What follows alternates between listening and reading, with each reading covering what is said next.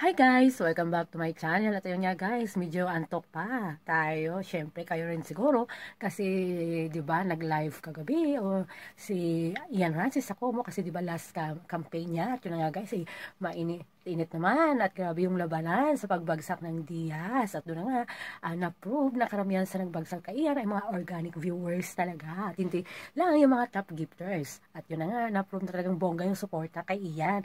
At yan, syempre, nabigla at kinilig ang lahat. Dahil syempre sino ba naman yung mag-aakala na magbabagsak ng diamond si Alexa?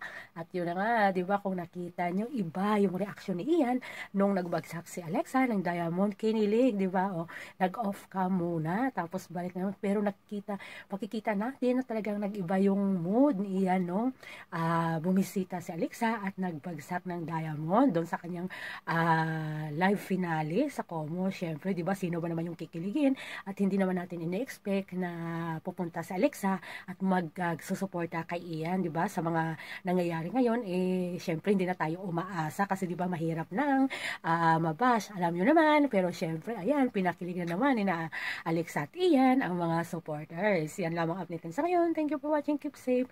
Bye!